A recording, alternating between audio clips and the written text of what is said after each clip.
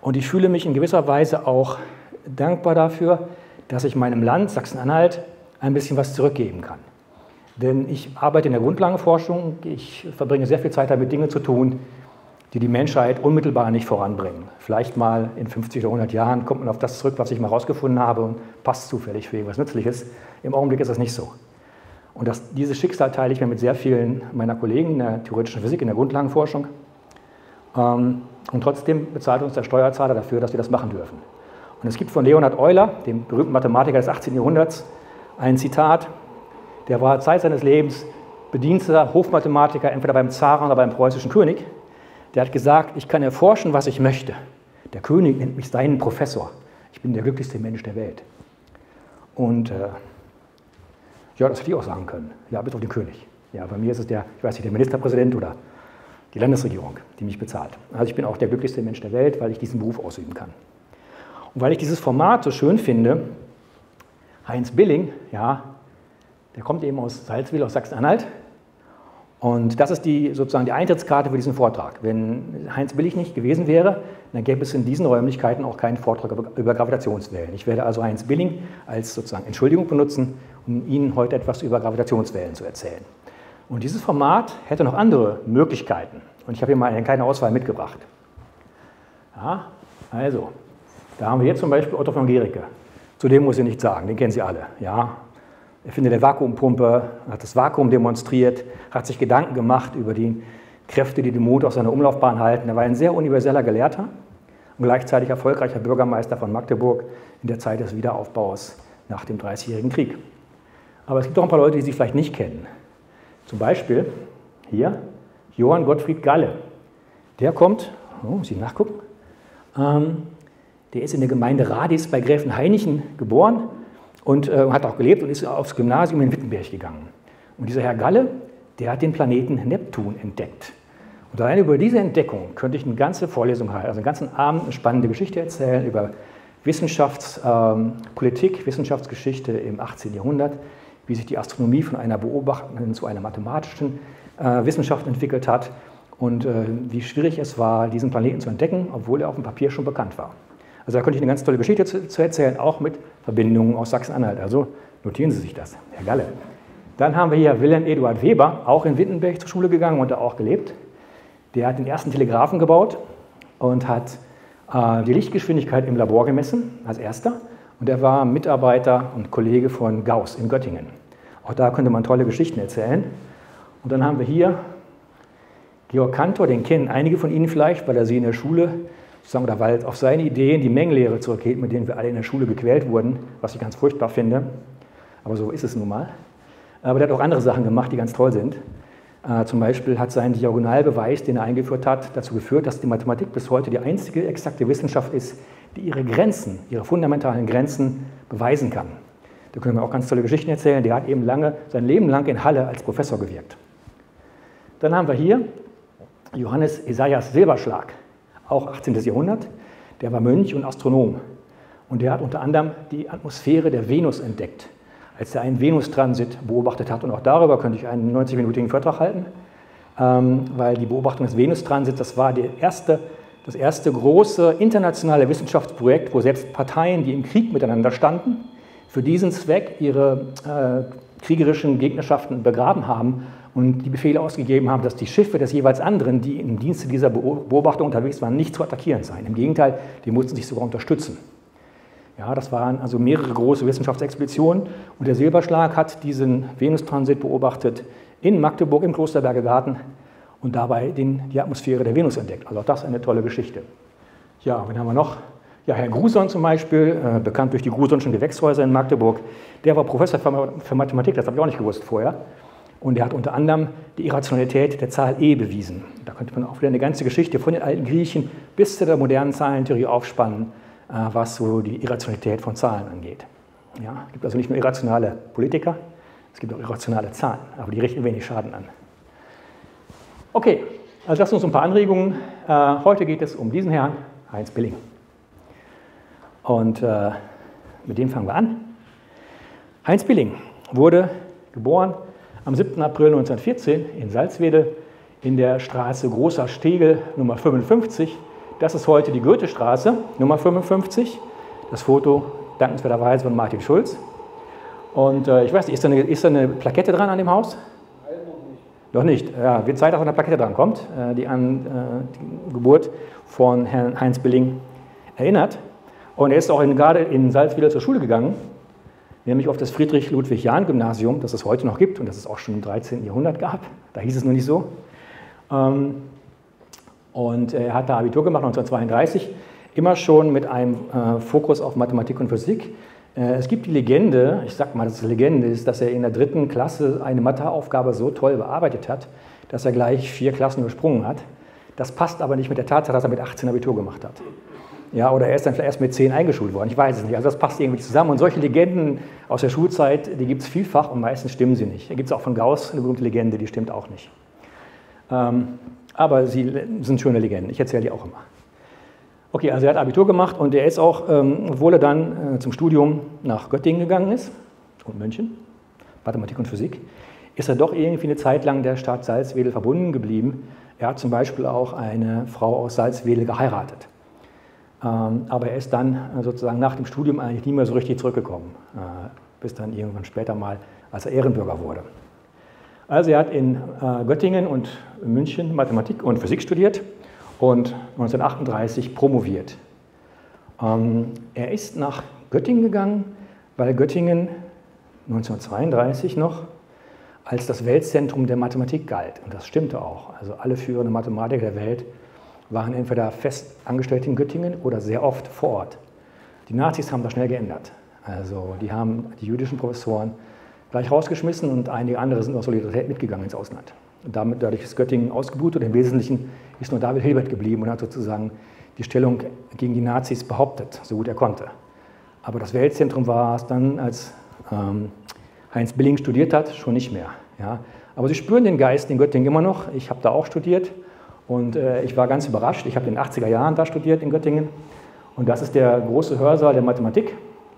Das Foto ist aus dem Jahr 2014 und es hat zu meiner Zeit in den 80ern genauso ausgesehen und ich bin ganz sicher, das hat zu Billings Zeiten auch schon so ausgesehen. Da ist nichts verändert. Und die Mathematiker sind auch die einzigen, die den Umzug der Uni in moderne Gebäude am Rande der Stadt nicht mitgemacht haben, was ich total gut finde. Ja, die haben nämlich wunderschöne alte Gebäude und äh, ja, die sehen eben so aus. Also wenn Sie mal nach Göttingen gehen, dann gucken Sie sich die Mathematik an und nicht den Rest der Uni. Der sieht aus wie jede andere Uni auch, modern, langweilig. Okay. Dann ist Heinz Billing also im Krieg hat er, äh, hat er auch wissenschaftlich gearbeitet, in Anführungszeichen. Er hat also versucht, Tonaufnahmen zu machen äh, und dadurch heranfliegende Bomber äh, zu detektieren, weil Radar hatten die Deutschen noch nicht. Äh, die haben das versucht, über Tonaufnahmen zu machen und da war er involviert und das war auch gut, sozusagen gut für seine spätere Laufbahn. Er hat also Erfahrungen mit Tonaufzeichnungen auf Magnetbändern gesammelt und ähm, war dann. Er musste nicht an die Front, deswegen und hat dann in Göttingen bei der ähm, AFA, der Aviationsversuchsanstalt, gearbeitet, die dann nahtlos überging in die Kaiser-Wilhelm-Gesellschaft, später Max-Planck-Gesellschaft und dann später Max-Planck-Institut. Äh, war also sein Leben lang, kann man sagen, als Wissenschaftler bei derselben Institution. Die hat zwar den Namen gewechselt, aber ist dieselbe Institution geblieben. 1958 ist diese Institution von Göttingen nach München umgezogen. Äh, in München und Garching und auch schon in Göttingen hat er vor allem Rechentechnik gemacht. Also wir hatten 1948 ein gemeinsames Kolloquium mit den äh, führenden englischen Computerpionieren, Alan Turing zum Beispiel war dabei, und äh, haben Ideen ausgetauscht. Und Billing hatte vorher schon so programmierbare Rechenautomaten entwickelt und vor allen Dingen die Datenspeicherung auf Magnettrommel speichern, also mit magnetisierten Oberflächen. Sozusagen, was wir heute noch in den Festplatten haben, die gibt es schon mehr, mehr nicht mehr, aber wir machen alles mit Solid State Hardware, also wirklichen Chips, ja. Aber die ganz großen Platten, äh, die in den Servern laufen, sind immer noch magnetisch. Ja. Also so groß sind die Solid-State-Dinger noch nicht, aber auf diesem Laptop zum Beispiel gibt es eigentlich keine Festplatten mehr. Aber er hat sozusagen die Grundsteine dafür gelegt und hat auch ähm, in der eigentlichen Rechentechnik ganz gute Sachen gemacht. Sie sehen hier an seinem äh, letzten Rechner, den er gebaut hat, G3, die wurden durchnummeriert, G1, G2, G3, G steht für Göttingen. Und das Interessante äh, an diesen Entwicklungen ist, er war sehr erfolgreich, aber er hat nie an Kommerzialisierung gedacht. Er wollte also nie Bill Gates werden. Ähm, hat zum Teil daran gelegen, dass Leute sich nicht vorstellen konnten, dass es vielleicht einen Massenmarkt gibt äh, für solche Produkte zu der Zeit zumindest. IBM konnte sich das in den 70er Jahren ja auch nicht vorstellen, dass es mehr als 10 Computer braucht auf der Welt.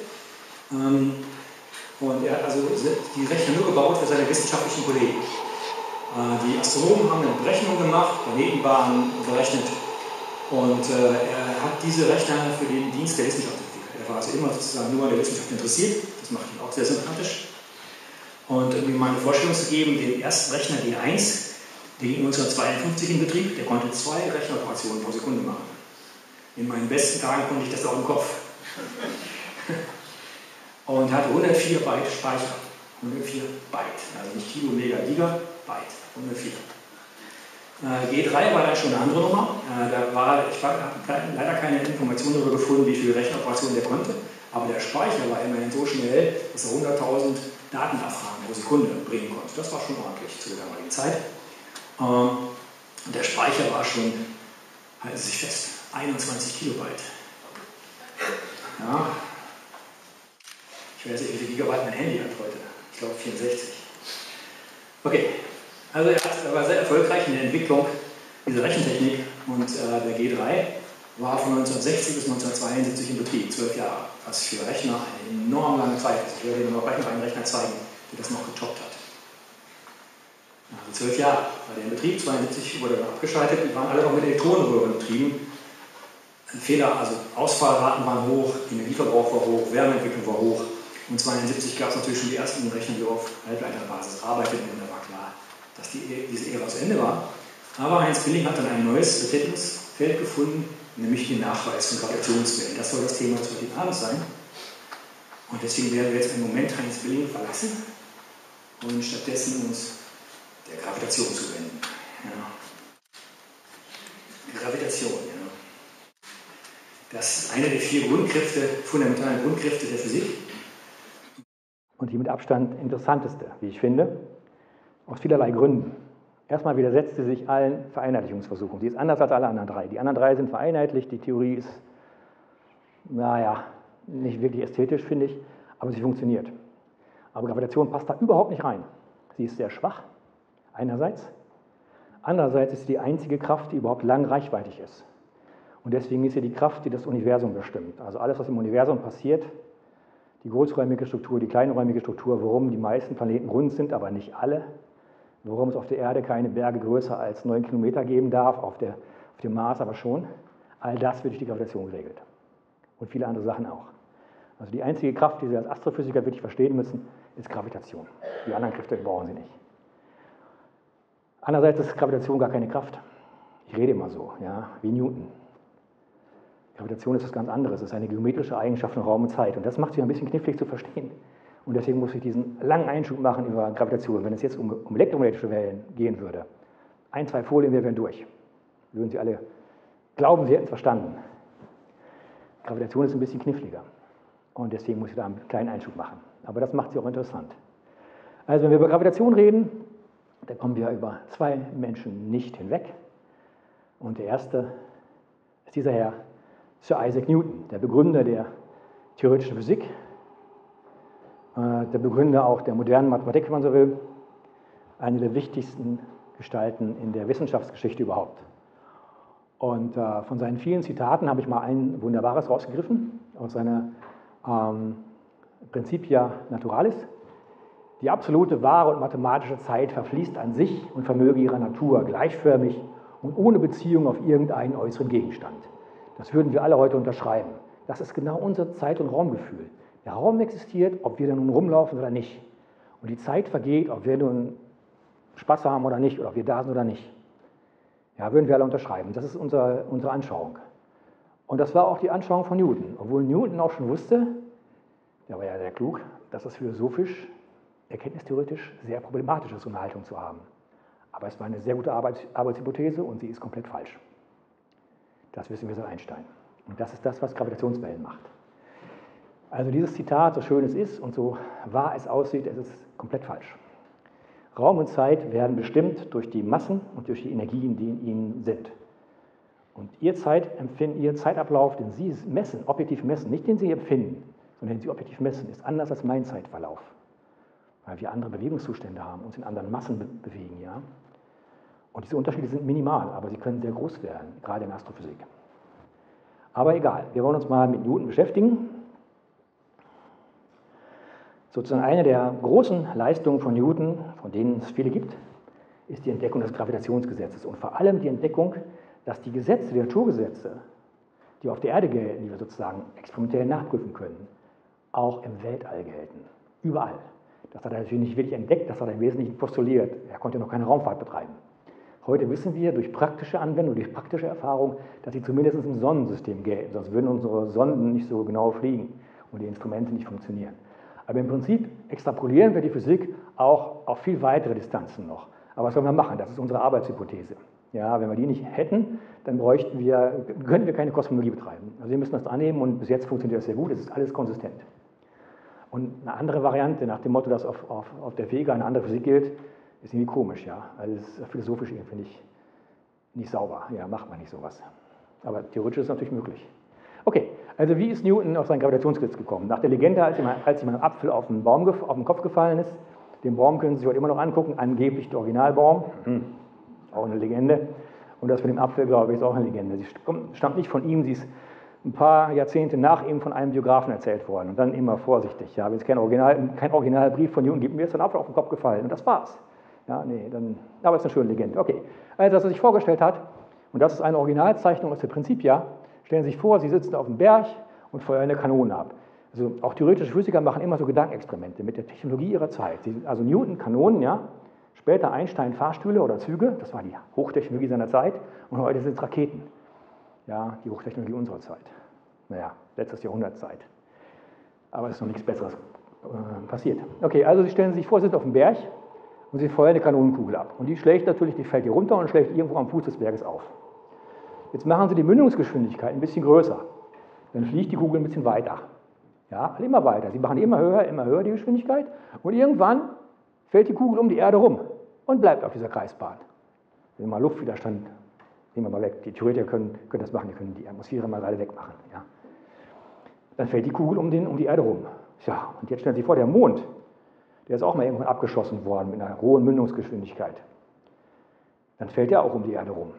Er fliegt nicht geradeaus, weil er von der Anziehungskraft der Erde immer, komm, fall auf mich, fall auf mich. Und er fällt auch auf die Erde, aber er verfehlt sie immer. Also der Mond fällt die ganze Zeit auf unsere Köpfe, aber er verfehlt uns, ja, weil er sozusagen eine Tangentialkomponente hat von Geschwindigkeit, die ihn auf die Kreisbahn zwingt. Und das war ein uns entscheidender Gedanke. Also der Mond bewegt sich auf seiner Kreisbahn, weil er von der Erde angezogen wird und permanent zur Erde fällt, aber weil er so eine hohe, in Anführungszeichen, Bildungsgeschwindigkeit hat, fällt er um die Erde immer rum. Das war sozusagen sein, sein Gedanke mit dem Apfel auf dem Kopf. Ja? Okay, wenn das aber so ist, ja, dann muss man die Kraft irgendwie berechnen können. Und die Kraft kann man sich leicht überlegen, wenn Sie bei mir in der Astronomievorlesung sitzen, dann kriegen Sie die Herleitung, die passt auf eine Postkarte. Ja, kriegen Sie die Herleitung für dieses Kraftgesetz. Das haben Sie vielleicht in der Schule gehabt und gehasst. Newtonsche Gravitationsgesetz. Ja? Ich erkläre Ihnen das. Also Sie haben zum Beispiel die Erde und den Mond. Und nach Newton ziehen die sich mit einer Kraft an ja, die sich aufeinander stürzen lassen möchte. Und diese Kraft hängt ab von der Masse der Erde, groß M, von der Masse des Mondes, klein m. Und das Wichtigste ist, sie hängt ab vom Abstand zum Quadrat hier unten im Nenner. Das heißt, wenn ich den Abstand verdopple, dann reduziert sich die Kraft auf ein Viertel. Wenn ich den Abstand verdreifache, auf ein Neuntel. Diese quadratische Abhängigkeit von der Entfernung, das ist sozusagen der Knackpunkt. Und dann haben wir noch so eine langweilige Konstante hier vorne, das ist die sogenannte Gravitationskonstante, eine fundamentale Naturkonstante. Den Zahlenwert müssen Sie nicht wissen, der ist ziemlich klein. 10 hoch minus 13 in SI-Einheiten. Ich sage ja, Gravitation ist eine schwache Kraft, aber eine, die über lange Entfernungen wirkt und deswegen das Universum bestimmt. Also das war das Kraftgesetz. Und dieses Kraftgesetz ist total klasse. Das, gibt, das wird heute noch benutzt. Also wenn Sie Ebbe und Flut berechnen, wenn Sie Planetenbahnen berechnen und auch wenn Sie die fantastischen Missionen unserer Raumsonnen berechnen, überlegen Sie sich mal so eine Mission zu Pluto, wie wir jetzt gerade hatten. Die ist 12, 13 Jahre unterwegs. Die holt sich Schwung auf ihrem Weg an anderen Planeten. Das muss alles total gut berechnet werden. Die hat nämlich nur ein ganz bisschen Treibstoff für kleine Bahnkorrekturen. Also sie müssen sozusagen mit dem ersten Schuss alles genau vorausberechnen. Und diese Vorausberechnung klappt wunderbar nach diesem Gesetz. Es gibt also überhaupt keinen Grund, an diesem Gesetz irgendwie rumzumäkeln, dass es irgendwie nicht richtig ist oder es gab auch, gibt auch keine, oder damals, Anfang des 20. Jahrhunderts, gab es überhaupt keine experimentellen Beobachtungen, die daran zweifeln ließen, dass dieses Gesetz irgendwie nicht richtig sein kann. Und trotzdem ähm, wusste Einstein und vor ihm auch schon ein paar andere, dass es nicht richtig sein kann. Gucken Sie das Gesetz mal an. Die Kraft hängt ab nur vom Abstand. Da steht nichts drin von Zeit oder so. Und stellen Sie sich vor, machen Sie Gedankenexperimente. Ja, wir sind ja heute Theoretiker alle, wir können ja Gedankenexperimente machen. Stellen Sie sich vor, Sie greifen an den Mond an und wackeln an dem. Sie schütteln den, schütteln den hin und her. Dann ändert sich natürlich der Abstand zur Erde und damit auch die Kraft auf die Erde. Das heißt, die Erde würde diese, diese Änderung der Anziehungskraft des Mondes sofort merken. Sofort. Obwohl Mond und Erde 380.000 Kilometer auseinander sind. Und Sie wissen ja vielleicht, nichts kann schneller laufen als das Licht, auch Ursache-Wirkungsprinzipien nicht. Also sollte die Erde das eigentlich eine Sekunde später merken erst. Aber nach Newton bemerkt sie das sofort. Sowas nennt man eine Fernwirkung, ein Fernwirkungsgesetz. Also die Wechselwirkungskräfte sind instantan überall im ganzen Raum. Auch an der Vega ist die Kraft natürlich sehr schwach, aber sie ist immer noch da. Auch die Vega in äh, mehreren Lichtjahren Entfernung merkt das sofort. Und das ist irgendwie nicht koscher. Das ist erkenntnistheoretisch schon mal ein Problem, so instantane Raumausfüllung. Ja. Und Einstein hat 1905 in seiner speziellen Relativitätstheorie gezeigt, dass ähm, sie die gängigen Regeln der Elektrodynamik nur erklären können, wenn sich nichts schneller als Licht ausbreitet, insbesondere Ursache-Wirkungsprinzipien nicht. Also die Lichtgeschwindigkeit hat mit Licht eigentlich nichts zu tun. Ist zufällig auch die Geschwindigkeit des Lichts, aber im Wesentlichen ist es die, die Maximalgeschwindigkeit für Ursache-Wirkungsbeziehungen. Und das macht auch viel mehr Sinn, erkenntnistheoretisch, dass es für so Ausbreitung von Ursache und Wirkung irgendein Geschwindigkeitslimit gibt. Das nicht sofort passiert. Das macht sehr viel mehr Sinn und seit Einsteins spezielle Relativitätstheorie von 1905 war das auch allgemein anerkannt. Und hier steht nichts davon drin. Keine Laufzeit, keine Lichtgeschwindigkeit. Also ein physikalisches Gesetz ohne Lichtgeschwindigkeit ist schon mal per se falsch. Ja, die muss da irgendwo auftauchen. Und äh, deswegen wusste äh, Einstein, ups, deswegen wusste Einstein, dass das Gesetz nicht richtig sein kann. Es musste geändert werden. Und äh, bevor man sowas macht, also bevor man Newton attackiert, ihn widerlegt, in der Physik gibt es keine Widerlegung, in der Physik gibt es nur Erweiterung des Anwendungsbereichs. Also muss ich klar machen, das Newtonsche Gravitationsgesetz funktioniert prächtig. Aber warum ist das so, obwohl das eigentlich falsch ist? Und dann machen sie in der Physik etwas, was sie ständig machen dort. Sie schätzen sozusagen Größenordnung ab. Und die Idee ist, wenn dieses Rütteln ja, sehr viel langsamer passiert als die Lichtgeschwindigkeit, dann merken Sie sozusagen von der Endlichkeit der Ausbreitung hier nichts. Weil das Signal selber so langsam ist, da ist sozusagen die Laufzeit, äh, können Sie vergessen, und dann ist das sozusagen sofort hier. Und so funktioniert auch unsere Physik. Die Geschwindigkeiten, mit denen die Raumsonnen unterwegs sind, die Geschwindigkeiten, mit denen wir Raumfahrt betreiben oder mit denen wir uns selbst im Alltag bewegen, sind sehr viel geringer als die Lichtgeschwindigkeit. Und deswegen merken wir von diesen relativistischen Effekten, wie man sagt, gar nichts. Ähm, aber trotzdem ist das nicht richtig und wir müssen erstmal im Kopf machen, was ist denn der Anwendungsbereich von der Newtonschen Physik? Wann ist die falsch?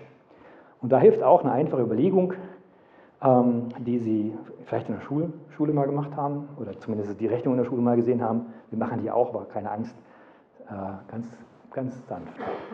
Also wir brauchen eine typische Geschwindigkeit, die mit der Gravitation und einem Planeten verbunden ist. Und da gibt es mehrere Möglichkeiten und die einfachste Möglichkeit ist die sogenannte Fluchtgeschwindigkeit. Wir machen wieder das Experiment mit unserer Kanonenkugel, wir schießen das immer weiter ab und dann gibt es irgendwann die Kreisbahn, ja, nennt man die erste kosmische Geschwindigkeit, bei der das passiert. Und dann äh, erhöhen Sie die Geschwindigkeit noch mehr und dann wird aus der Kreisbahn Ellipse. Und wenn Sie die Geschwindigkeit noch mehr erhöhen, dann wird die Ellipse immer länger. Und dann gibt es irgendwann einen Wert der Geschwindigkeit, der ist so groß, da schließt die Ellipse nicht mehr und Ihre Kanonenkugel entkommt ins Unendliche bis zum Rand des Universums und darüber hinaus. Diese Geschwindigkeit nennt man Fluchtgeschwindigkeit, aus naheliegenden Gründen. Und diese Fluchtgeschwindigkeit kann man einfach berechnen mit Schulphysik, Energiehaltungssatz. Ich will Ihnen das jetzt nicht vorrechnen. Das Ergebnis sehen Sie hier, also die Geschwindigkeit, Fluchtgeschwindigkeit geteilt durch die Lichtgeschwindigkeit, da taucht sie auf. Das, das Verhältnis ins Quadrat genommen ist durch diesen Ausdruck gegeben. Hier ist die Gravitationskonstante, hier ist die Masse des Planeten, hier ist der Radius des Planeten und wenn dieses Verhältnis sehr viel kleiner ist als 1, dann ist die Newtonsche Gravitationsphysik genau richtig und äh, macht keine, fast keine Fehler. Schauen wir uns diese Werte an, zum Beispiel für die Erde, wenn Sie die Masse der Erde einsetzen, den Radius der Erde, die Gravitationskonstante Lichtgeschwindigkeit, da kommt ein Wert raus, der ist ungefähr ein Milliardstel.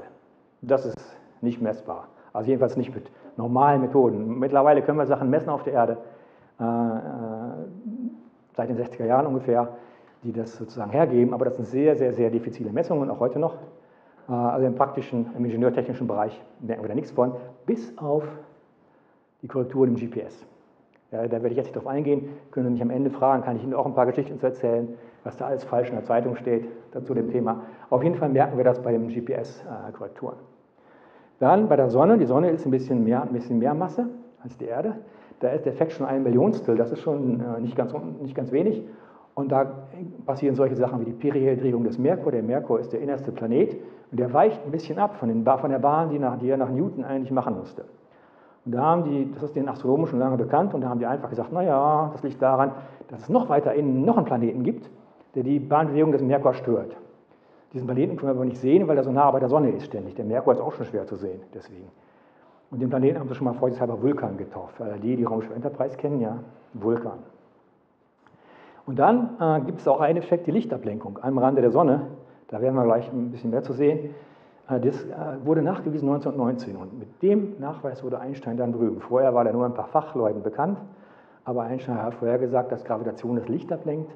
Und das wurde 1919 nachgewiesen und da war er auf einen Schlag berühmt und seitdem ist er die Ikone der Wissenschaft eigentlich. Dann werden wir ein bisschen zu exotischeren ähm, Objekten gehen, zum Beispiel Neutronensternen, tauchen auch noch ein paar Mal auf. Neutronensterne sind das, was am Ende eines Sternenlebens übrig bleibt, wenn der Stern eine gewisse Masse hatte.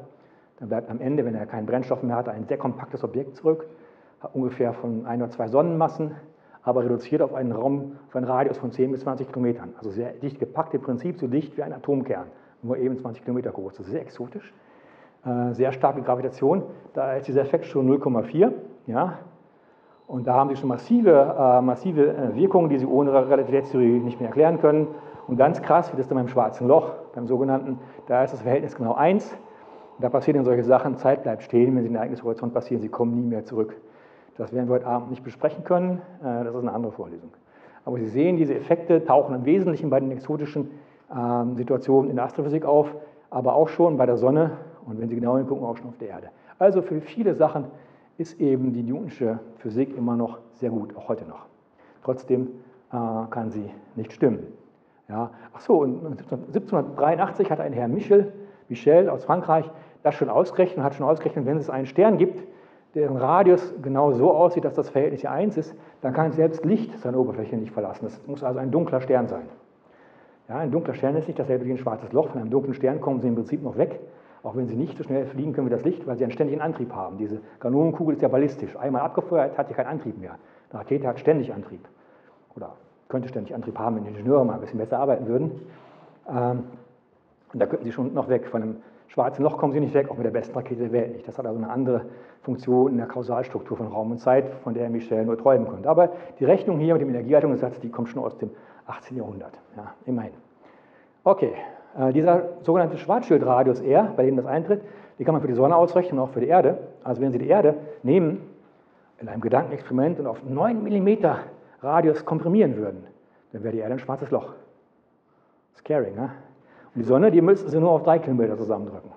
Dann wäre die Sonne ein schwarzes Loch. Wenn das passieren würde, dann wäre es dunkel und wir würden nicht mehr lange leben. Wir hätten keine Ernten mehr, keine Photosynthese. Aber so rein bahntechnisch, so umlaufbahnmäßig, würde sich gar nichts ändern weil das Gravitationsfeld außerhalb der Sonne immer noch dasselbe wäre. Das wäre nicht stärker oder so, das wäre genau das gleiche, wie es jetzt auch ist. Wir könnten nur näher an die Sonne ran, bevor wir verbrennen. Und es ist zu nah, nämlich auf drei Kilometer, und dann würden wir hinterm Ereignishorizont verschwinden und kämen nie mehr zurück. Aber das würde uns nicht fressen oder so. Wir würden weiter schön unsere Bahn ziehen, zwar in Dunkelheit und auch nicht mehr lange lebend, aber mit der Aussicht, dass die Erdbahn noch lange, Milliarden Jahre noch funktionieren würde. Okay. Ja, Herr Newton war das uns bewusst mit dem Fernwirkungsgesetz und er hatte auch darüber philosophiert und er war damit gar nicht zufrieden. Aber er hat gesagt, mir fällt nichts Besseres ein und, und Hypothesen erfinde ich nicht. Also er hat sozusagen einen pragmatischen äh, Ansatz gemacht, was ihn von einigen ähm, Freizeitphilosophen doch unterscheidet und ihn eigentlich sympathisch macht. Äh, aber ihm ist auch eine Besonderheit aufgefallen und das ist sozusagen auch der Kern der Gravitation, warum die Gravitation speziell ist. Auch eine Tatsache, die Sie in der Schule vielleicht gelernt haben und wo der Lehrer nicht darüber nachgedacht hat und Sie schon gar nicht und die aber eigentlich ganz fantastisch ist. Und äh, das liegt daran, dass es zwei Sorten von Massen gibt. Es gibt die eine Masse, die träge Masse. die sozusagen verhindert Beschleunigung. Also wenn Sie zum Beispiel so einen Zug, wenn Sie den anschieben müssten, dann ist das schwer. Nicht, weil der Zug sozusagen so viel wiegt, weil er sozusagen von der Erde stark angezogen wird, uh -uh. sondern weil er sozusagen einer Bewegungsänderung Widerstand entgegensetzt. Das nennt man träge Masse. Ja, wenn der im freien Weltraum wäre, wo es keine Gravitation gäbe, da könnten Sie ihn auch nicht anschieben, weil der sozusagen durch seine schiere Masse, seine träge Masse, sich jedem Beschleunigungsversuch widersetzt. Und das äh, kennen Sie aus der Schule, das ist Newtons Bewegungsgesetz, die Kraft, die eine Beschleunigung hervorruft, da haben Sie diesen Proportionalitätsfaktor drin, das ist die träge Masse. Wenn die also sehr hoch ist, da brauchen Sie für die gleiche Beschleunigung eine viel größere Kraft. Das ist übrigens ein Zug, den ich im Bahnhof Stendal fotografiert habe, als ich da gerade mal auf meinen Anschluss gewartet habe, ein Güterzug. Ähm, ja, das ist die träge Masse. Und dann gibt es die Masse, die die Gravitationskraft macht. Ne? Hier steht die drin. Das ist die träge Masse, das ist die schwere Masse. Und rein erkenntnistheoretisch, philosophisch müssten die miteinander gar nichts zu tun haben. Das könnten zwei völlig unterschiedliche Dinge sein, so wie elektrische Ladung und Masse zwei völlig unterschiedliche Sachen sind.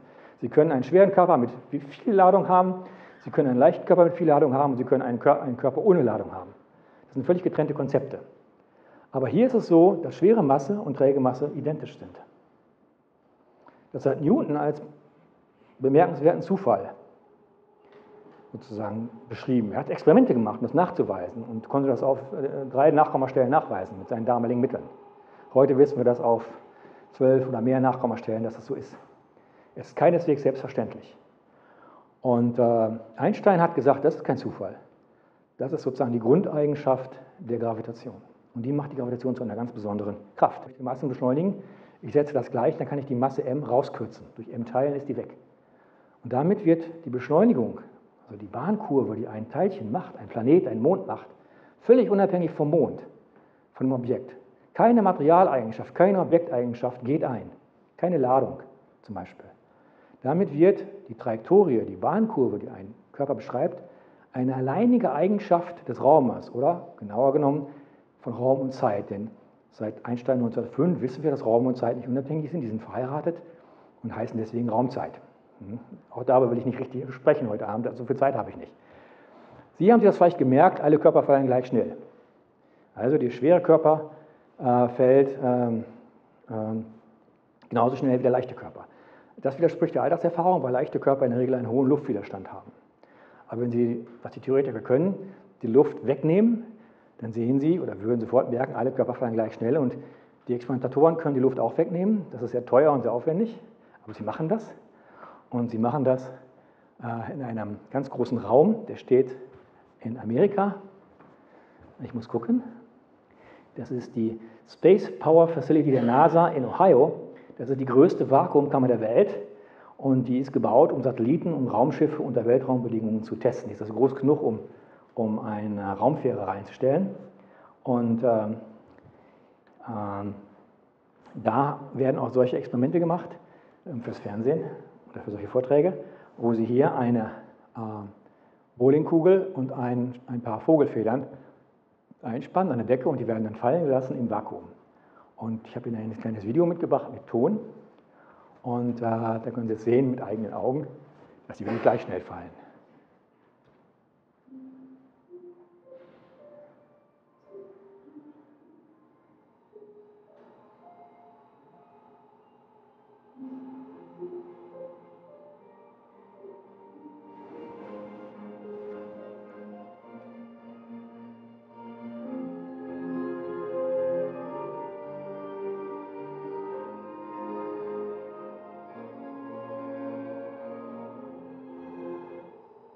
Okay, Sie sehen, fallen wirklich gleich schnell.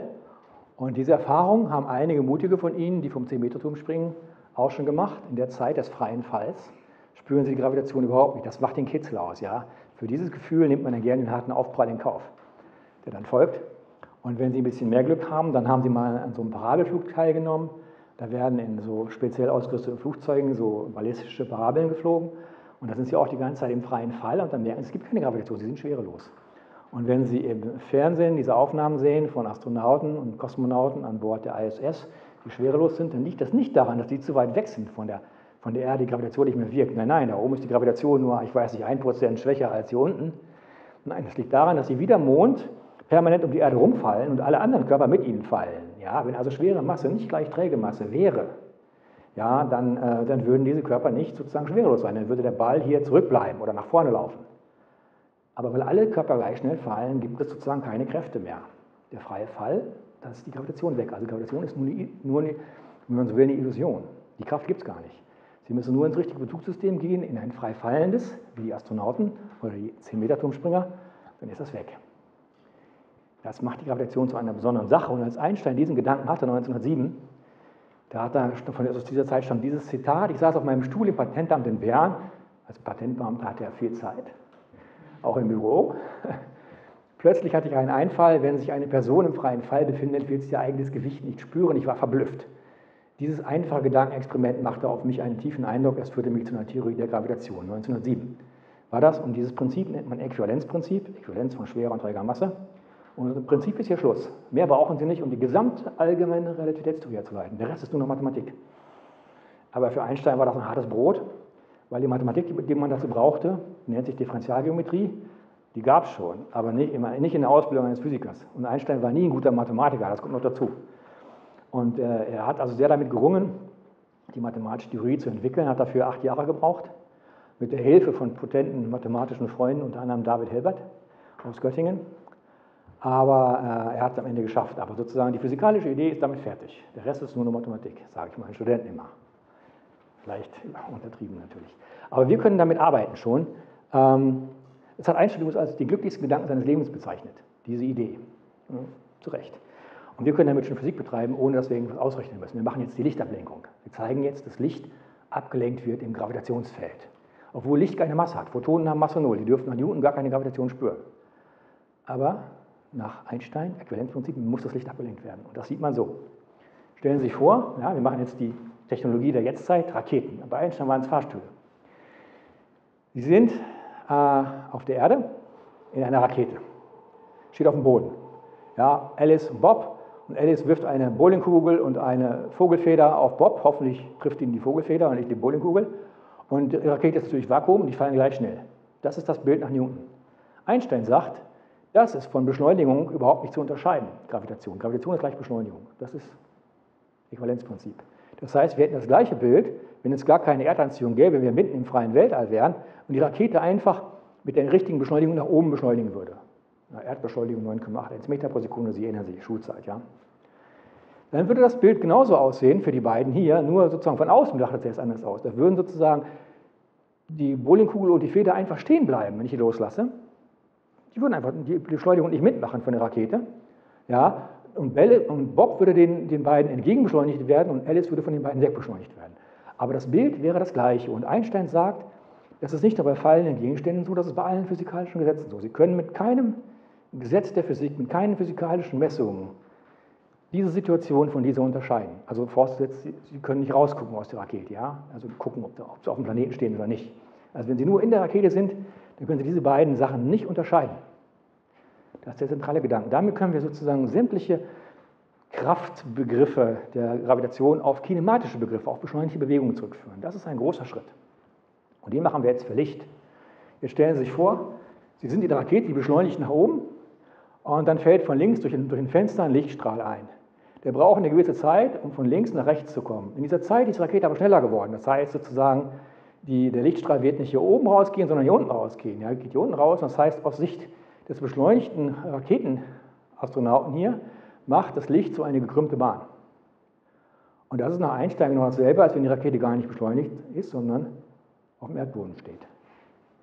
Das heißt, die Gravitation der Erde muss das Licht krümmen. Einfach weil das ein kinematischer Effekt ist und mit der Masse gar nichts zu tun hat.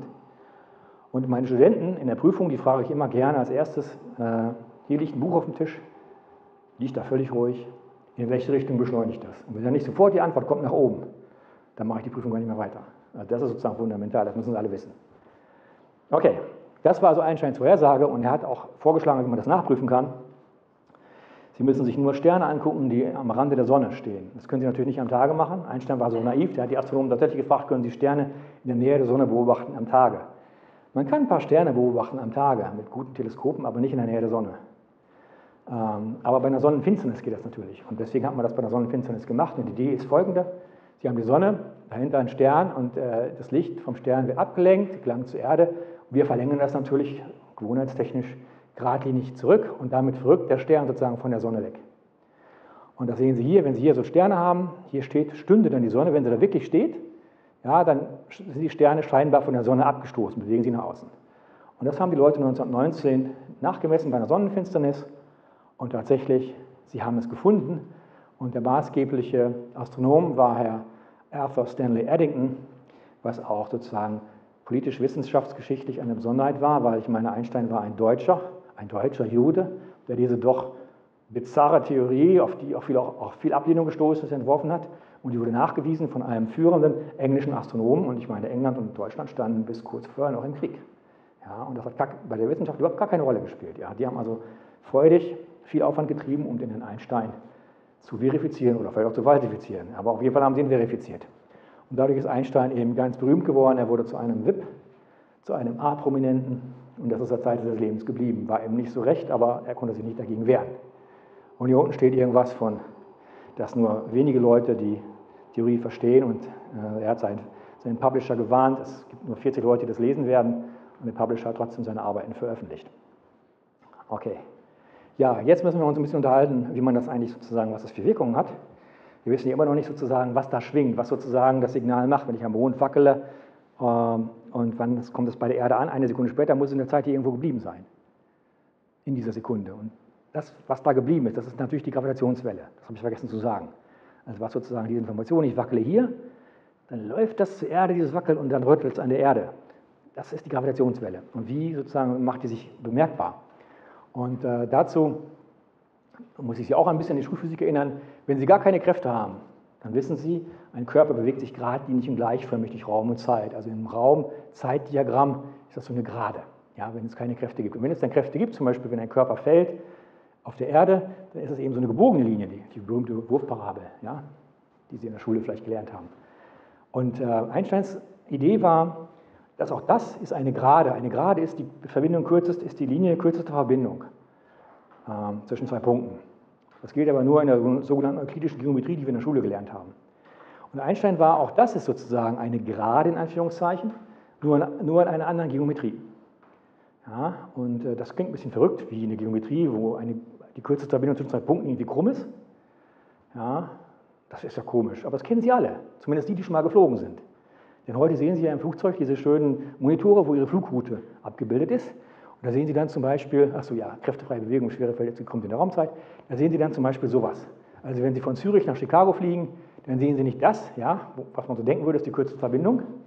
Ja, das ist hier nicht. Und die kürzeste Verbindung ist sowas.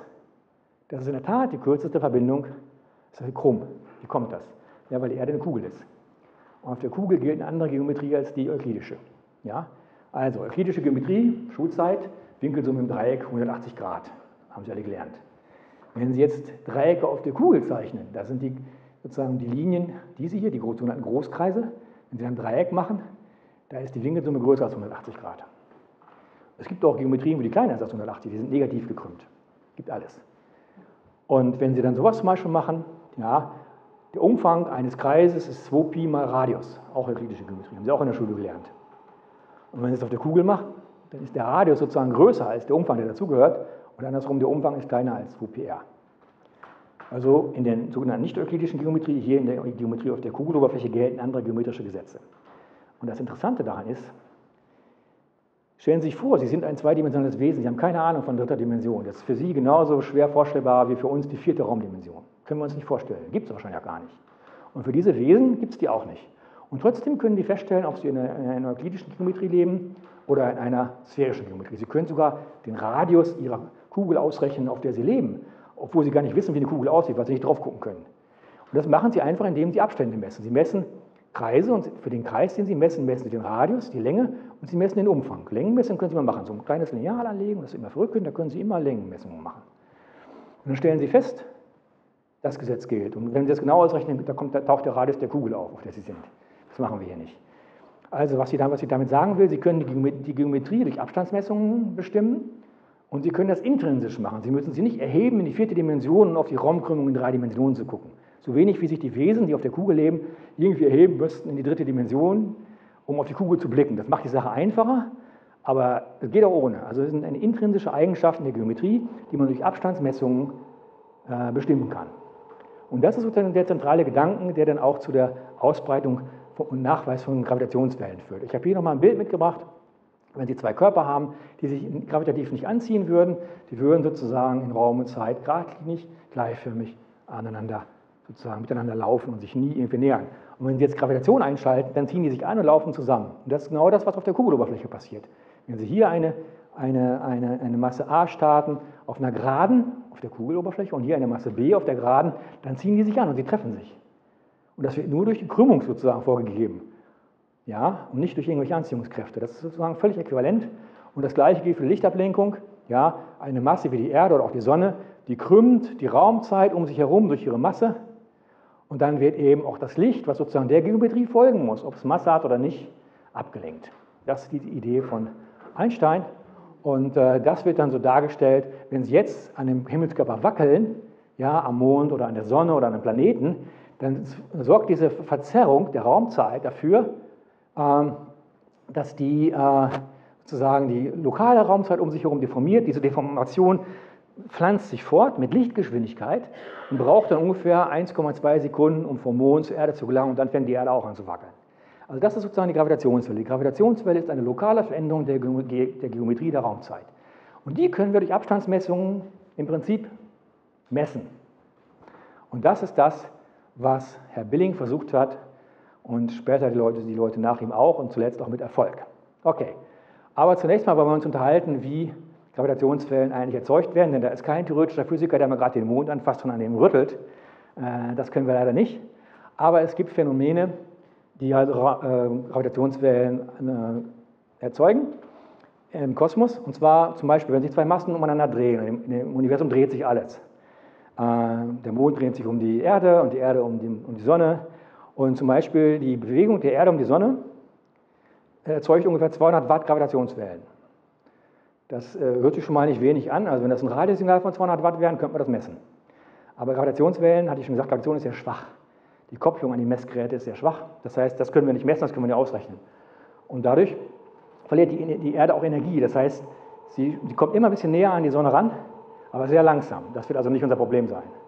Und beim Jupiter sind es 1000 Watt. Das ist schon ein bisschen mehr, aber auch das können wir nicht messen. Aber wenn Sie Objekte haben, die einander sehr nahe kommen können, äh, weil sie sehr kompakt sind, zum Beispiel Neutronensterne, dann kommen Sie schon in andere Bereiche. Ähm, dann kommen Sie schon hier zum Beispiel bei so schwarzen Löchern, die sich sehr nahe kommen, äh, da kommen Sie sozusagen schon auf äh, interessante Bereiche und Sie können, wenn Sie bei mir in der Vorlesung sitzen, dann können Sie irgendwann ausrechnen, dass ähm, so eine typische Leistung von Gravitationswellen 10 hoch 52 Watt mal diesem Faktor ist. Dieser Faktor ist im Wesentlichen der Schwarzschildradius von dem Objekt bei der Sonne, 3 Kilometer, äh, dividiert durch den echten Durchmesser, wie nah man rankommen kann, hoch 5. Und dieses hoch 5 macht viel aus. Und ähm, vor allem die, der Vorfaktor 10 hoch 52 Watt, der ist heftig. Um ihm mal einen Vergleich zu geben, haben einen Schwarzschildradius von 4 Kilometer und können auf 10 Kilometer ran. Da ist dieses Verhältnis also 0,6 irgendwie. Also das äh, ist schon ziemlich gut. Und da kommen Sie dann äh, so auf 10 hoch 48 Watt. Also zwei Neutronensterne oder zwei schwarze Löcher, die miteinander sozusagen sich schnell umkreisen und am Ende verschmelzen, die erzeugen eine Strahlungsleistung, gravitationswellenmäßig für einen Moment, der der Leistung des, äh, der Lichtleistung des gesamten sichtbaren Universums entspricht. Das ist ungefähr das Heftigste, was man in der Astrophysik beobachten kann, seit kurzem beobachten kann. Und Gottlob passiert das alles weit draußen. Wenn das in der Nähe der Erde passieren würde, wären wir alle sterilisiert, sofort. Also nicht von der Gravitationswelle, aber von den Begleiterscheinungen, die dazugehören. Ja, da können wir verrückt sagen, dass es immer weit draußen passiert. Meistens. Okay. Diese Erkenntnis hat auch dazu geführt, zum ersten Nachweis von Gravitationswellen, zum indirekten Nachweis. Und darüber möchte ich kurz was erzählen. Dazu braucht man einen besonderen Stern, einen Neutronenstern, äh, der ein starkes Magnetfeld hat. Und dieses starke Magnetfeld äh, weicht in der Symmetrieachse von der Rotationsachse ab und dann gibt es so starke sozusagen äh, Radiosignale, die entlang der magnetischen Polachse ausgestrahlt werden. Und weil die eben mit der Rotationsachse nicht zusammenfallen, ist das wie ein Leuchtturm, der so einen Strahl aussendet. Und wenn, dieser, wenn die Erde sozusagen im Einzugsbereich des Strahles liegt, was gelegentlich passiert, dann, dann messen wir dieses Radiosignal. Deswegen heißen diese Sterne auch Pulsare. Ähm, äh, die wurden entdeckt, muss ich gucken, äh, 1967 von einer jungen Frau, Jocelyn Bell, die war Doktorandin. Und für diese Entdeckung gab es vier Jahre später den Nobelpreis für Physik. Nee, äh, Sieben Jahre später, 1974, für, für Physik, aber nicht für Sie, sondern für Ihren Doktorvater. Und das ist eine große Schweinerei, hat der Doktorvater auch gesagt. Und das ist eine von vielen Beispielen, wo eine äh, epochale Entdeckung in der Astrophysik von Frauen gemacht wurde, weil Frauen wurden in Astronomie, Astrophysik lange Zeit eingesetzt so als Datensklaven, Rechensklaven, so niedere Arbeiten, die kein Mann machen wollte. Ja. Und dabei haben die viele Sachen entdeckt, nicht nur das. Und die Meriten haben immer die Männer abgeschöpft. Ja. Und das ist 1967, 74, also, äh, und die ist vor kurzem, äh, ist sie gestorben? Weiß ich gar nicht, aber sie war auf jeden Fall vor kurzem wieder in den Medien. Aber das ist ein, ein klassischer Fall und äh, geht gar nicht sowas. Na, jedenfalls braucht man so einen Pulsar. Weil so ein Pulsar, das kommt, der dreht sich schnell, ähm, ein paar 12, 10, 20 Umdrehungen pro Sekunde und das ist ein Objekt von 20 Kilometer Durchmesser oder Radius, dreht sich sehr schnell und sehr zuverlässig. Das ist ein hoher Drehimpuls, der nimmt nicht ab oder nur minimal, das ist eine sehr genaue Uhr. Und es gibt Pulsare, die drehen sich so exakt, die sind besser als unsere besten Cäsium-Atomuhren. Und eigentlich ein besseres Zeitnormal als unsere technischen Normale. Ja? Also sehr zuverlässige Zeitgeber. Und die braucht man, denn wenn Sie so einen Zeitgeber haben, ja, so einen Pulsar, und dieser Pulsar hat einen Partner und die drehen sich umeinander, so ein Doppelsternensystem, ja, dann können Sie sozusagen die Umlaufzeiten sehr genau messen, weil Sie hier diesen Zeitgeber haben. Der läuft auf Sie zu, dann haben Sie einen Dopplereffekt, in die Verschiebung läuft er von Ihnen weg, haben Sie einen Dopplereffekt in die andere Richtung, können Sie sehr genau messen. Es gibt in der Astrophysik nichts, was Sie so genau messen können wie Zeiten. Zeiten sind das A und O. Entfernung ist schwierig, ja, bei den ganz weiten Entfernungen. Bei Zeiten können Sie immer, egal wie weit die wechseln, können Sie immer sehr genau messen, Zeiten und Frequenzen. Und wenn Sie so einen Taktgeber haben in so einem Binärsystem, dann können Sie das Binärsystem, also dieses Doppelsternsystem, sehr genau analysieren. Die Umlaufzeiten können Sie sehr genau analysieren und das haben Leute äh, gemacht. Die haben so ein Pulsarsystem gefunden, PSR 1913 heißt das, wo der eine Partner so ein Pulsar ist und die sich eng umkreisen. Das ist, das ist ein Neutronenstern, das ist auch ein Neutronenstern. Die umkreisen sich also sehr eng, die erzeugen also Gravitationswellen von nicht unerheblichem Ausmaß und ähm, dabei verlieren sie Energie. Das heißt, sie nähern sich an. Also die Umlaufzeiten nehmen ab und sie nähern sich an. Und ähm, das kann man ausrechnen, wie die Umlaufzeiten abnehmen müssen nach der Theorie der Gravitationswellen. Und das kann man dann vergleichen mit den Beobachtungen. Und das haben die Forscher gemacht mit dem großen Radioteleskop Arecibo, was Sie aus James Bond vielleicht kennen, ja, mit dem wir auch nach außerirdischem Leben suchen und anderen Sachen. Ähm, damit haben sie es gemacht, und zwar viele Jahre. Und dann haben sie diese Kurve gefunden. Also das sind die Beobachtungen, das ist die Abnahme der äh, der Umlaufzeiten in Sekunden. Also die Umlaufzeiten sind ungefähr siebeneinhalb Stunden, wenn ich mich richtig erinnere. Laufen die umeinander, also schon sehr schnell. Wir brauchen ein Jahr um die Sonne und die nur sieben Stunden umeinander. Und diese Umlaufzeit im Laufe der Jahre um ein paar Sekunden ab und das können wir so genau messen, weil der eine Partner eben ein Pulsar ist. Und dann sehen Sie, das sind die Beobachtungsdaten und die gestrichelte Linie ist die Vorhersage der Realitätstheorie durch die Gravitationswellen. Das passt wunderbar. Und für diese Entdeckung und auch vor allen Dingen für Ihre Geduld, jahrelang dasselbe Doppelsternsystem zu untersuchen, haben die Herren Halse und Taylor 1993 den Nobelpreis für Physik bekommen. Das war der indirekte Nachweis der Gravitationswellen. Damit können wir das Kapitel eigentlich zumachen. Das war der letzte experimentell oder der vorletzte experimentell ausstehende Beweis, Nachweis der Realitätstheorie und niemand hat eigentlich daran gezweifelt. Also das hat vorher niemand bezweifelt, dass das so sein muss. Die haben es indirekt nachgewiesen, Buch zu. Ja.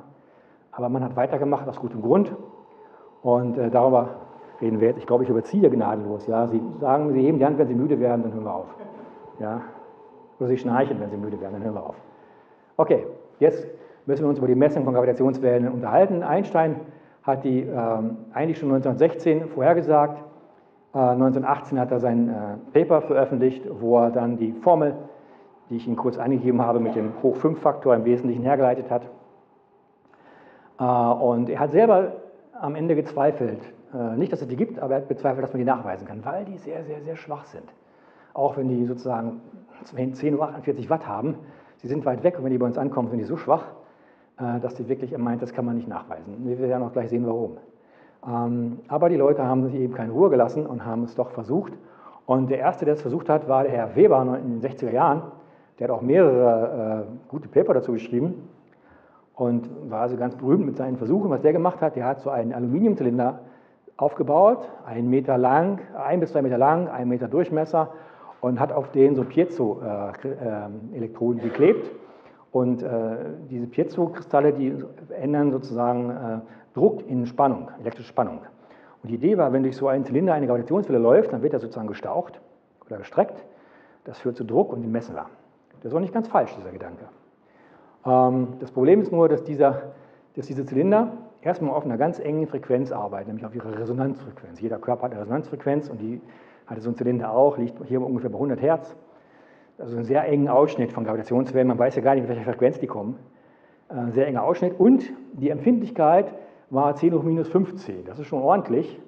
Ja, also 15 Stellen hinterm Komma konnte man dazu sagen, nachweisen, relative Längenänderung. Äh, aber äh, die typischen astronomischen, astrophysikalischen Quellen, die bei uns auf der Erde da ankommen, die haben so eine relative Längenänderung von 10 hoch minus 21, sechs Größenordnungen drunter. Keine Chance, die damit nachzuweisen. Ich weiß nicht, ob der sich die Rechnung angeguckt hat oder ob er gehofft hat, dass sozusagen gleich um die Ecke in, in 1000 Lichtjahren Entfernung mal zwei schwarze Löcher irgendwie was machen. Dann könnte man das vielleicht nachweisen. Ja? Ebenfalls, er war optimistisch und hat behauptet, er hätte die nachgewiesen. Und jetzt kommt Heinz Billing ins Spiel. Heinz Billing war immer hatte ich ja schon gesagt, niemand, der selbst ins Rampenlicht gedrängt hat. Der hat sich nicht für die Kommerzialisierung des Rechners interessiert, die er gebaut hat. Und er hat sich auch nicht sozusagen dafür interessiert, selber neue Grenzen zu überschreiten. Er hat was anderes gemacht, was in der, in der Physik oder überhaupt in der Wissenschaft ein sehr, sehr, sehr hoher Verdienst ist, der leider nicht honoriert wird. Er hat ein Experiment, was andere gemacht haben, nachgemacht. Die Physik lebt davon, dass jemand, der ein Experiment macht, dass der kontrolliert wird von anderen, die das Experiment nachmachen. Das Nachmachen ist nie dankbar. Wenn Sie es bestätigen, dann wird der andere berühmt. Wenn Sie es widerlegen, haben Sie Streit und werden auch nicht berühmt. Äh, das ist undankbar. Und trotzdem muss es gemacht werden. So funktioniert die Wissenschaft. Und Heinz Billing hat es gemacht. Er hat also genau diesen Apparat von den Weber nachgebaut in den 70ern. Ja, echt eine Kopie und hat einen zweiten gebaut in Frascati, Italien, weil sie müssen immer an zwei verschiedenen Stellen haben, damit sie sozusagen keine irdischen Störquelle messen. Das, Signal muss in beiden mit der entsprechenden Laufzeitverzögerung sozusagen gemessen werden. Und äh, er hat das gemacht in den 70ern. Und er hat sehr sorgfältig gemessen, sehr lang, sehr aufwendig und er hat nichts gemessen. Er hat also nachgewiesen, dass Herr Weber ich will nicht sagen betrogen hat, Herr Weber war auch ein guter Physiker, der hat andere gute Sachen gemacht, sondern sich einfach geirrt hat. Er hat irgendwelche Störsignale falsch interpretiert. Wir werden auch gleich sehen, das ist heute immer noch ein Problem. Äh, und er war einfach sozusagen zu optimistisch. Und damit war klar, mit diesen sogenannten Resonanzdetektoren kann man keine Gravitationswellen nachweisen. Und dann hat Herr Billing einen Tipp bekommen von einem Physiker namens Rainer Weiß, der später für die Gravitationswellen den Nobelpreis bekommen hat. Er solle doch nicht mit diesen Resonanzdetektoren messen, sondern mit Interferometern. Und das hat der Billing dann auch gemacht. Ein Interferometer funktioniert so, da brauchen Sie eine Lichtquelle, kohärentes Licht, also Laserlicht zum Beispiel, heute nur Laser dafür. Da sendet ein Laser einen Strahl aus, der trifft auf so einen halbdurchlässigen Spiegel, dann wird der Strahl geteilt, die eine Hälfte geht in diese Richtung, die andere geht geradeaus durch. An beiden Enden befindet sich ein Spiegel, ja, der wirft das Licht zurück, auch der wirft das Licht zurück wieder auf den halbdurchlässigen Spiegel, dann landet es hier in einem Detektor. Dann haben Sie also hier zwei Wellen, die da ankommen, Welle 1, Welle 2. Und wenn die sozusagen in Phase sind, ja, also wenn sich Tal und Tal und Berg und Berg addieren, dann ist das Gesamtsignal äh, ein starkes Signal und Sie haben Licht im Detektor. Wenn aber die Phase ein bisschen verschoben ist um eine halbe Wellenlänge, dann folgt auf, äh, addiert sich Tal zu Berg und äh, Berg zu Tal und das Licht löscht sich aus, nennt man destruktive Interferenz. Das heißt, dann kommt im Detektor hier nichts an, kein Licht. Sie können also schon mal alleine mit dieser primitiven Anordnung mindestens Wellenlängen messen, die von der Größenordnung einer halben Lichtwellenlänge sind oder sogar ein bisschen darunter. Und das sind immerhin 10 hoch minus 7. Direkt schon mal messen, ohne dass Sie irgendwas machen müssen. Das machen wir heute im Anfängerpraktikum. Interferometrie mit der Längenauflösung einer halben Lichtwellenlänge. Ja, da ist jedes Mikroskop wäre da schon stolz drauf. Aber das ist in der Physik sozusagen erst der Anfang. Ja, aber ist, auf jeden Fall können Sie dieses dieses Interferometer auch beliebig lange machen. Sie können den Spiegel hier in 4 Kilometer Entfernung aufstellen. Und so wird es auch gemacht. Und Sie sehen hier, das ist das L, was hier unten steht. Und wenn das L 4 Kilometer hat, dann kann das Delta L auch viel größer sein, was Sie messen bei der vorgegebenen Genauigkeit, die Sie erreichen müssen. Also je länger die Arme sind von dem Interferometer, desto genauer und besser und empfindlicher wird der Instrument. Das können Sie mit diesen Aluminiumzylindern nicht machen, wird irgendwann zu teuer und nicht immer handhabbar. Aber mit Interferometern nur eine Geldfrage. Können Sie beliebig lang machen. Okay, ja, und so sehen die auch alle aus. Die Interferometer auf der Welt sehen alle gleich aus. Äh, hier habe ich das GEO 600, also das äh, Interferometer in der Nähe von Hannover. Das hat 600 Meter Armlänge, auch noch zu kurz. Ja, deswegen haben die in Hannover auch noch keine Gravitationswelle gesehen so richtig. Aber es wurde sehr viel Technologie entwickelt äh, für die großen Interferometer. Das wurde alles in Hannover entwickelt und getestet. Und angefangen hat das alles mit Herrn Billing. Herr Billing hat nämlich einen 30 Meter äh, Interferometer gebaut in Garching und konnte auch keine Gravitationswellen nachweisen. Also er hat sozusagen, er hat eigentlich nie was nachgewiesen, aber er hat sozusagen die Grundlagen gelegt, er hat viele Technologie entwickelt äh, und er hat eine Zeit lang mit Abstand das empfindlichste Gravitationswellenmessgerät auf der Welt betrieben und konnte keine Wellen nachweisen. Ja? Das hat viele Gründe, auch die Armlänge spielt eine Rolle. 30 Meter war einfach auch zu kurz. Und bei modernen Interferometern macht man sowieso mehr.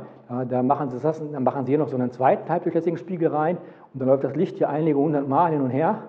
Ja? Dann kriegen sie effektive Armlängen von 100 Kilometern und mehr.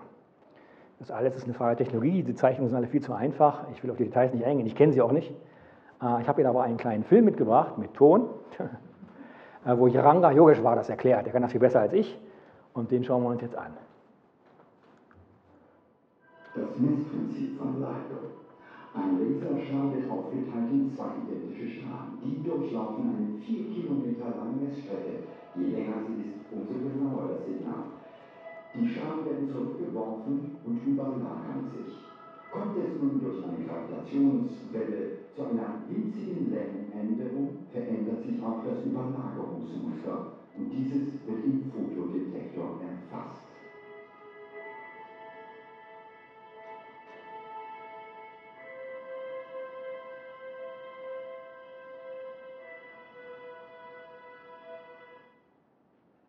Okay. Was das? Ja. Gut. Also nach diesem Prinzip sind alle modernen Gravitationswellendetektoren aufgebaut. Sie haben hier LIGO, das Laser Interferometry Gravitational Observatory und das hat, betreibt ähm, äh, zurzeit zwei Standorte in Hanford und Livingston und das muss so sein. Sie brauchen immer mindestens zwei für diese Koinzidenzmessungen. Wenn ein Signal nicht in beiden gemessen wird mit dem entsprechenden Laufzeitunterschied, dann gibt es das Signal nicht. Und aus dem Laufzeitunterschied können Sie dann auch ungefähr die Richtung bestimmen. Ne? Denn wenn die Welle frontal von oben kommt, sie zwischen beiden gleich. Und wenn sie von links oben kommt, dann ist sie in Hanford äh, sehr viel früher als in Livingston. Sie können also mit diesen Zweien schon eine gewisse Ortsbestimmung machen. Und äh, es wird ein drittes LIGO geben in Indien.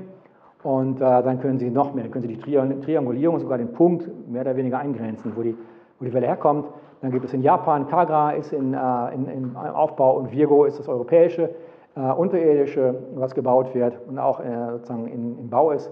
Giga 600 gibt es schon länger, aber wie gesagt, ist zu kurz. Äh, aber man arbeitet daran, sozusagen mit Technik, das auch empfindlich genug zu machen, um da auch direkt nachzuweisen.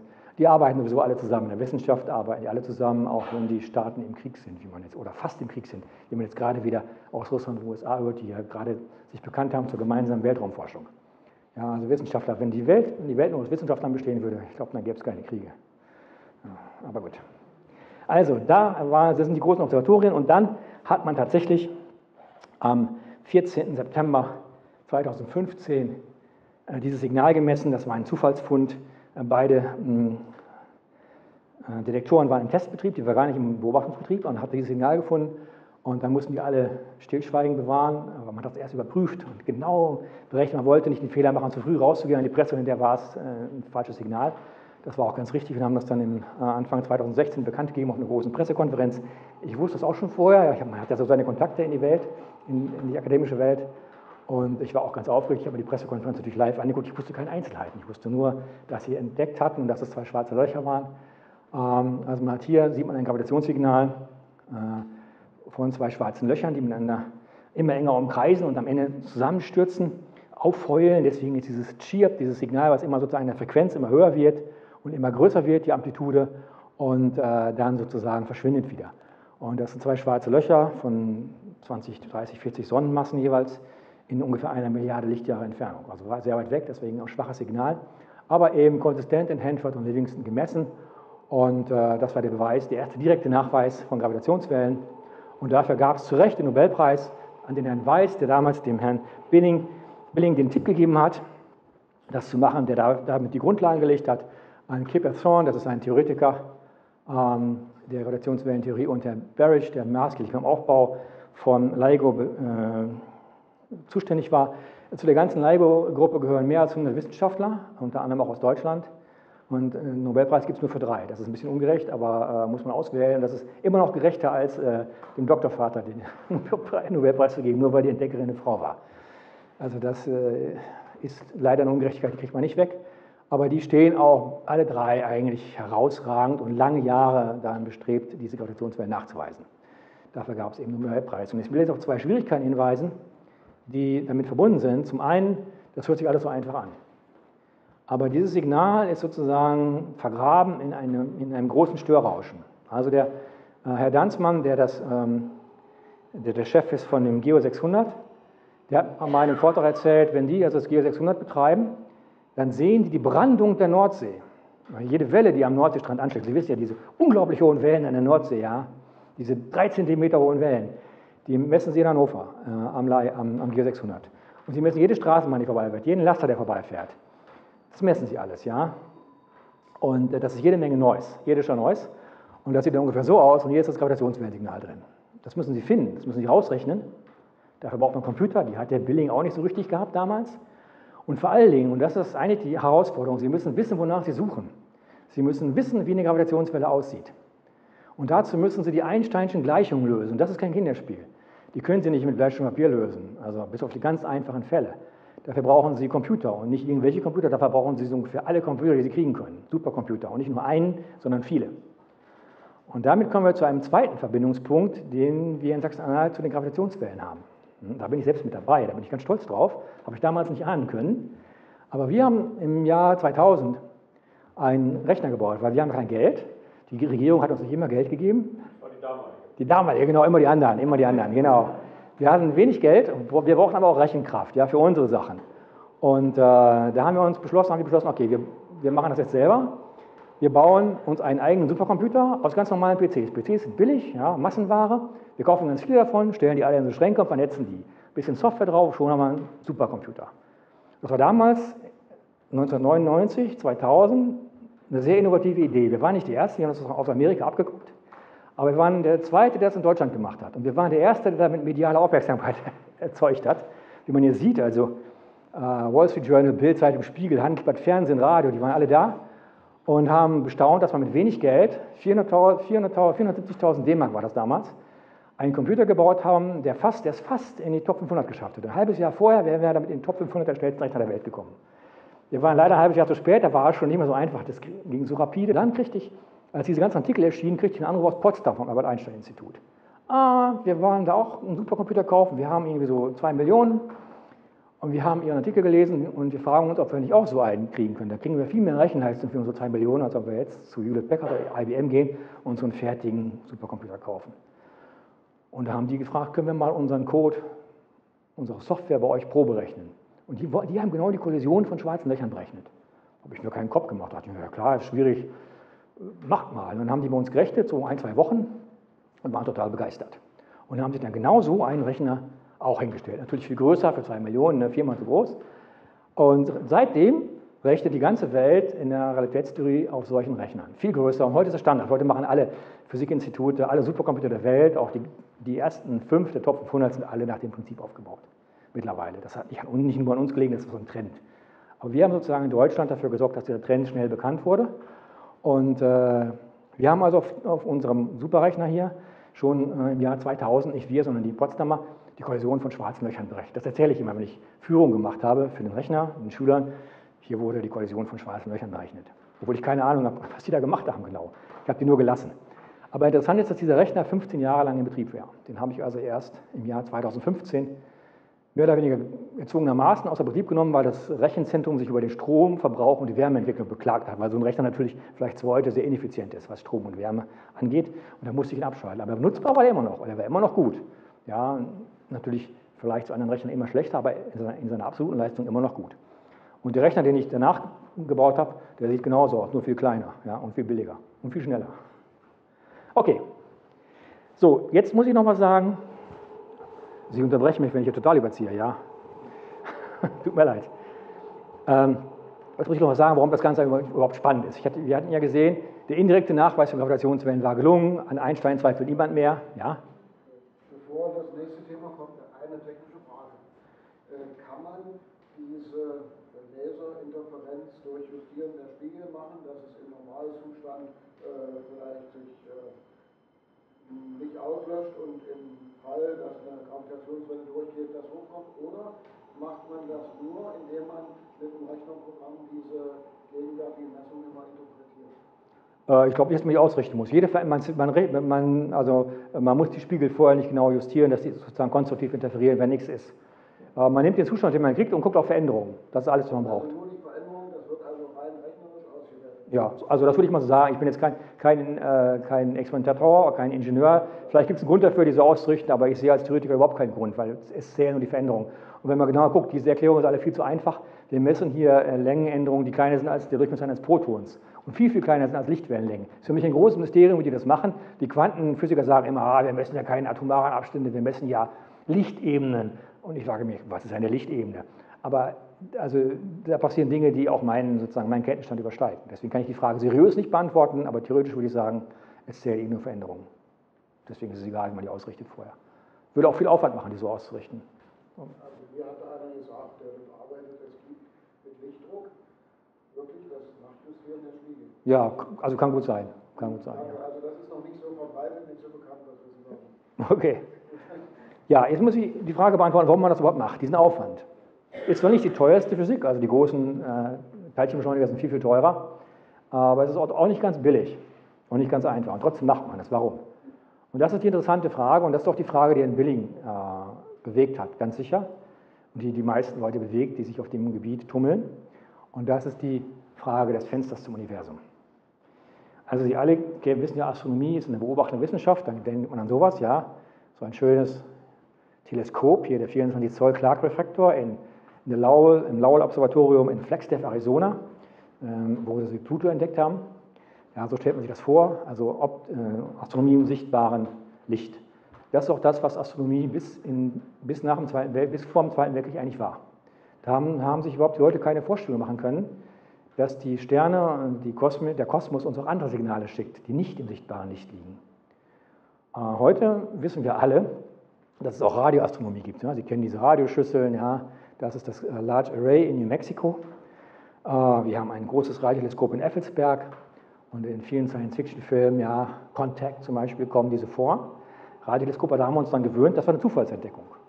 Das hat keiner sozusagen gewusst, dass, es, äh, dass die Sterne und der Kosmos zu uns im Radiobereich sprechen. Und über die Zufallsentdeckung kann ich noch eine nette Geschichte erzählen, das mache ich aber nur auf Nachfrage nach dem Vortrag, sonst überziehe ich noch länger. Das wussten wir schon.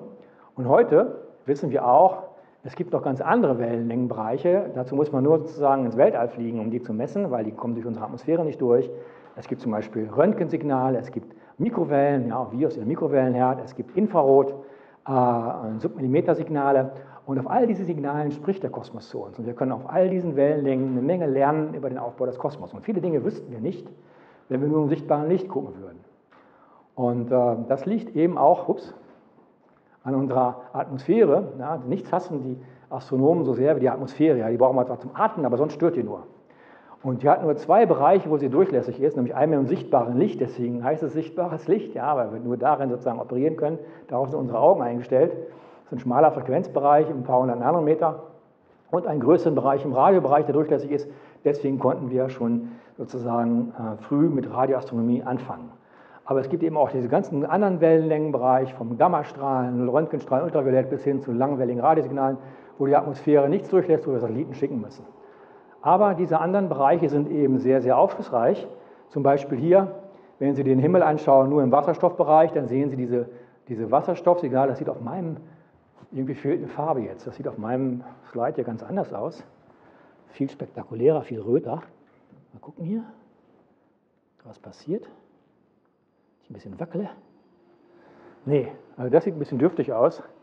Der Himmel ist ganz voll, auf, meinem, auf meiner Folie ganz rot. Da sehen wir die Wasserstoffverteilung. Wasserstoff sendet, molekularer Wasserstoff sendet eine 21 cm Linie aus, das ist Radiobereich, 1400 MHz. Hm? Oh. Wasserstoff sendet, ähm, neutraler Wasserstoff sendet 21 cm Wellenlänge aus, das ist Radiobereich, 1400 MHz. Und wenn wir diese Radioastronomie hätten, wüssten wir nicht, wo der Wasserstoff sitzt. Und der Wasserstoff ist das zentrale, der zentrale Baustein für, das, für die ganzen Sterne. Und mit dem Radioteleskopen können wir eben gucken, wie, ähm, wie sozusagen Wasserstoff verteilt ist.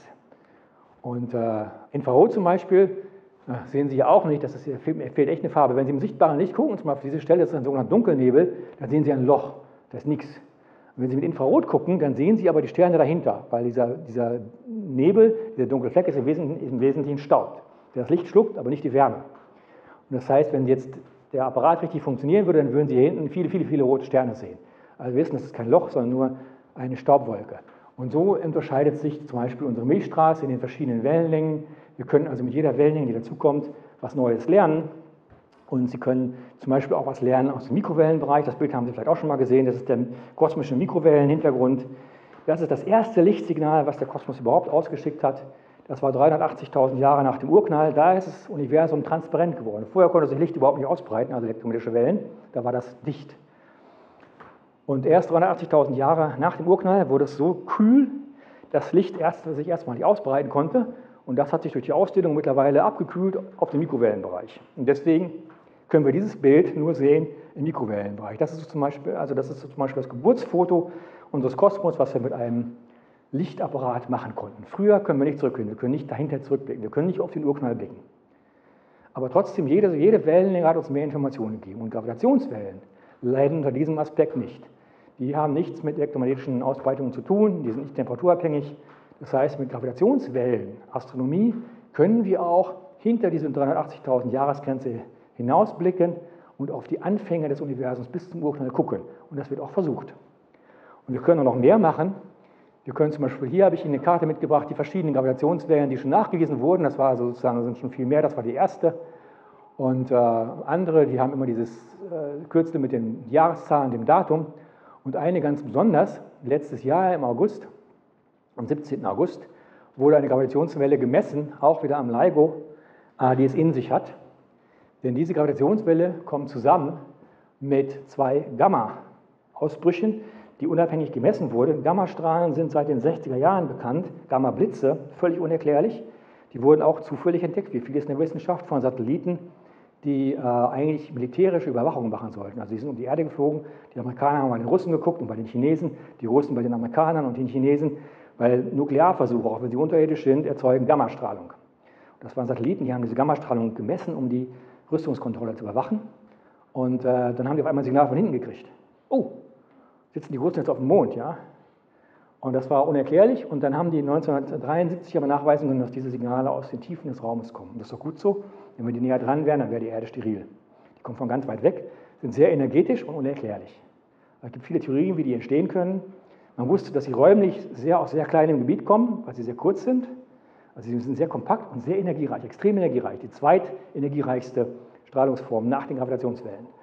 Und äh, im letzten Jahr, im August, hat man zum ersten Mal diese, diese zwei von diesen äh, Gamma-Blitzen gemessen, unabhängig voneinander, und gleichzeitig eine Gravitationswelle die, damit, die dazugehört. Und weil die das gemessen haben mit sehr hoher räumlicher Auflösung, wusste man, wo man hingucken musste. Und da haben sich alle Teleskope der Welt sozusagen äh, darauf gerichtet. Ich habe das aufgeschrieben. Äh, also das wurde entdeckt in der Galaxie NGC 4993, die ist 130 Millionen Lichtjahre entfernt, das ist relativ nah für kosmische Verhältnisse, also anders als eine Milliarde. Und da hat man auch diesen Punkt dann gefunden, der auf einmal hell aufleuchtete. Und da haben sich dann 170 Observatorien und 100 Teleskope drauf gestürzt, auch ein paar im, äh, im, Erdumlauf, Hubble und noch andere, und haben das sehr ausführlich analysiert, das Nachglühen. Und deswegen haben wir sehr, sehr viel gelernt von diesem Ereignis. Das nennt man Astronom, äh, also Gravitationswellenastronomie oder Multi-Messenger-Astronomie, wenn sich viele Teleskope unterschiedlichster Bauart auf ein Event stürzen. Das kommt jetzt öfter mal vor. Und da hat man eben gelernt, dass das zwei äh, kollidierende Neutronensterne sein müssen die miteinander verschmelzen und die haben Vorteile gegenüber schwarzen Löchern. Weil Neutronensterne, da geht das alles langsamer, da haben sie ein Signal, das dauert länger, Gravitationswelle 100 Sekunden lang, ja, ungefähr 1500 Umdrehungen hat man da messen können. Und dann am Ende, äh, Neutronensterne haben echt eine massive Oberfläche, die krachen aufeinander. Schwarze Löcher haben keine Oberfläche. Das sind ja nur sozusagen mathematische Hüllen, wenn man so will. Die verschmelzen sozusagen folgenlos. Ja? Da passiert nichts weiter. Da gibt es keine keine Röntgenstrahlung, da gibt es keine Gammastrahlung, die verschwinden einfach und machen eine riesen Gravitationswelle. Aber diese Neutronensterne machen viel mehr. Die machen jede Menge Röntgenstrahlung, Gammastrahlung, sichtbares Licht, äh, Wärmestrahlung. Das kann man alles analysieren und daraus kann man eine Menge lernen. Und das haben die auch gemacht. Unter anderem hat man gelernt, oder jetzt eine richtig gute Theorie, die durch diese Beobachtungen äh, gestützt wird, äh, jetzt weiß man, wo die ganz schweren Elemente herkommen. Gold zum Beispiel. Gold dürfte es eigentlich gar nicht geben, ähm, denn alles, was jenseits von Eisen ist, wird in den natürlichen Sternen nicht erzeugt. Und Gold kann nur entstehen, wenn Sie ein Eisenatom nehmen und da jede Menge Neutronen reinpumpen, die dann irgendwann in Protonen umwandeln, die Ordnungszahl erhöhen, dann haben Sie Gold zum Beispiel oder Platin. Und das heißt, wenn Sie jetzt einen Ehering haben aus Gold, der besteht ja zum allergrößten Teil aus Material von Neutronensternen. Von weit weg, machen Sie das mal klar. Ja, da wird der Ring gleich viel kostbarer. Also all das und noch viel mehr hat man gelernt äh, aus diesem Ereignis und das nennt man eben ähm, Gravitationswellenastronomie und deswegen sind die Leute so scharf drauf. Man will also immer bessere Detektoren bauen, damit immer empfindlichere Signale gemessen werden können, räumliche Bestimmungen gemacht werden können und äh, dann wird das genauso erfolgreich sein wie Röntgen, wie Radioastronomie und wird unser ähm, Werkzeugkasten dolle erhöhen und das sind also ganz spannende Zeiten. Ja. Lassen, schicken Sie Ihr Kind zum Physikstudium. Das kriegt das dann alles mit. Ja. Okay, zurück zu Herrn Billing, das hat man auch erkannt dass er sozusagen, irgendwann hat man es erkannt, dass er doch maßgebliche ähm, Anteile daran hatte. Er hat dann 1987 die Konrad-Zuse-Medaille bekommen für seine Computerleistungen als erster Empfänger dieser Medaille. Äh, 2006 den Maximiliansorden für Wissenschaft und Kunst, die höchste Auszeichnung der bayerischen Staatsregierung, weil er ja in Garching gewohnt hat und gearbeitet hat. 2013 wurde er dann Ehrenbürger der Stadt Salzwedel und von diesem Ereignis stammt dieses Bild. Und 2015 hat er das Bundesverdienstkreuz erster Klasse bekommen. Aber ich glaube, die Auszeichnung oder das Ereignis, was ihm am besten ähm, äh, getan hat, gefallen hat, war, dass er das noch erleben durfte, dass Gravitationswellen tatsächlich entdeckt wurden. Denn er hat seinem Nachfolger, wenn man so will, Herrn Danzmann, gesagt, ich bleibe so lange am Leben, bis wir die Gravitationswellen entdeckt haben. Das hat er geschafft. Gerade so. Ja. Ich weiß nicht, ob Sie ihn vorher angerufen haben damit er das auch sicher noch weiß, also vor der öffentlichen Bekanntgabung, aber er hat auf jeden Fall mit der öffentlichen Bekanntgabe auch geschafft und ist dann am 4. Januar 2017 in Garching verstorben, fast 103 Jahre alt geworden. Äh, dazu trägt auch bei, dass er auch einer der glücklichsten Menschen der Welt war, wahrscheinlich, weil er forschen konnte, was er wollte und er keine weiteren Ambitionen hatte, als das zu tun, was er wollte. Und dafür hat er sein Geld gekriegt und das war gut so. Und ich glaube, er ist als sehr zufriedener Mensch gestorben. Ja, damit bin ich äh, mit deutlicher Überziehung am Ende, tut mir leid, aber wie gesagt, das äh, Steroid sorgt dafür, dass ich viel rede, zu viel. Ja. Und das ist die Schlussfolie. Ich hoffe, Sie hatten wenigstens ein bisschen Spaß und sind nicht ganz äh, müde geredet worden. Vielen Dank.